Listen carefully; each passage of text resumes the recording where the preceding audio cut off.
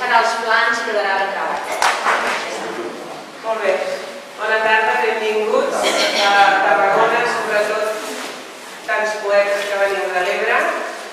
Des de la benvinguda volia dir una cosa que ja fa temps que estem pensant des de la PEI, que és l'Associació de Professionals i Estudiosos de Llengua i Literatura, l'organisme operat amb l'Escola de Lletres, hem organitzat, juntament amb el suport del Unió Cultural, Santa Teca, voldria deixar ningú, gràcies a l'espai de l'antic Ajuntament. Ja fa temps deia que volíem fer un acte com aquest. Jo crec que avui eh, posem la llavor d'una xarxa que hauríem d'anar teixint ja fa temps. La nostra entitat té molts associats que són de les Terres de l'Ebre i eh, de vegades hi ha molta desconnexió. Per tant, jo crec que avui és el moment adequat per conèixer-nos, per intercanviar idees, tot i que els moments són molt difícils, molt convulsos i molt complexos, però sempre hem de buscar la part positiva i per tant crec que avui ja hem d'encetar aquesta interacció perquè els poetes eh, ebrencs pugueu llegir aquí, els poetes tarragonins pugueu venir a les Terres de l'Ebre i llegir també i hi hagi aquest intercanvi.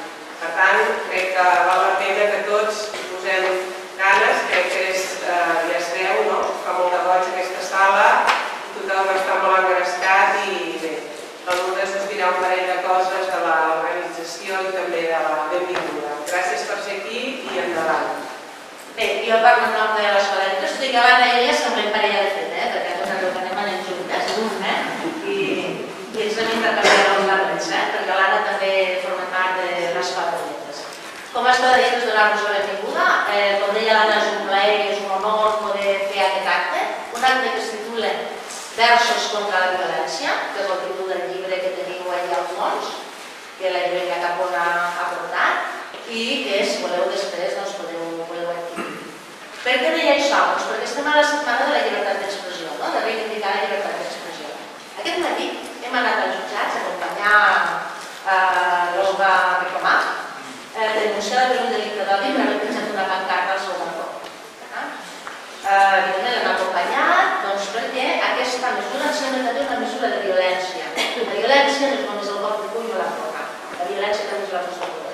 I en aquest cas doncs, diem no, prova de violència, defensem la llibertat d'expressió i un acte com el d'avui és un acte de llibertat d'expressió, perquè no hi ha llibertat més gran que el fet de crear, que el fet d'escriure, eh? que és un acte de, de llibertat. Suposo que tots els poetes que sou aquí, que deu estar d'acord, i a més a més, eh, trobar aquest espai comú, que és eh, anar en contra de la violència, que ens ajunya, ens fa trobar, pensem el que pensem, tots estem d'acord, perquè som un poble pacífic, estem en peu de pau, oi?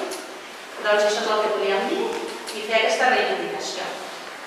Jo crec que hem de demanar disculpes d'aquests canvis d'última hora perquè s'havia previst de fer-ho en un espai obert al Col·legi d'Arquitectes, però creiem que possible no hauria. Llavors, també volem dir que ha costat una mica de trobar un espai en què puguem fer un acte d'aquestes característiques.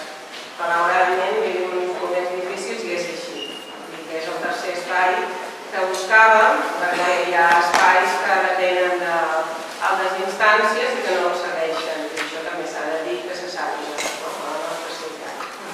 En aquest sentit hem de donar les gràcies al Col·legi d'Arquitectes que amb el traslladar l'acte també han vingut ells i eh, finalitzant el recital ens ofereixen un, Ah, sí, no sabia. ens, ens ofereixen un tas de vins. Eh? Per tant, quan acabem anirem a fer un i podrem acabar de parlar.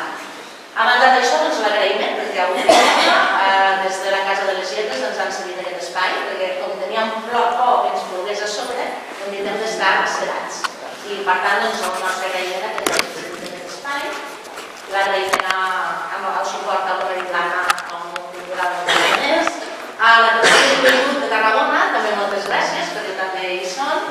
Eh, em deixo algú? No, ja està. Ja no organista ni la Ja està. no, no, no, I una vegada dit tot això, sí que eh, volem fer esment a un escriptor que fa un parell de setmanes ens ha deixat, que és el Jordi Minyà. I per aquest motiu li volem dedicar aquest any. Eh? Volem fer-lo present, no és entre nosaltres feries, en aquests moments la seva pèrdua encara és molt trista i, i molt sentida, i per tant doncs, avui el volem. Senzillament, encara que no siguin versos contra la violència, perquè ja m'ho permetreu, uns versets que vaig escriure per al Jordi Jimena el dia que, que ell va morir. No entenc aquesta tarda que em ve amb tanta força i que pren amb la densitat proposa de les hores els límits del dolor. Et vull aquí, et vull aquí entre nosaltres, combatents entre les ombres, secs al món, tristos ninots amants del destí. Amb tu, Jordi, amb l'ànima tremolosa, sempre present, sempre amb nosaltres, amic, mestre i company, et portem al mal. Un aplaudiment.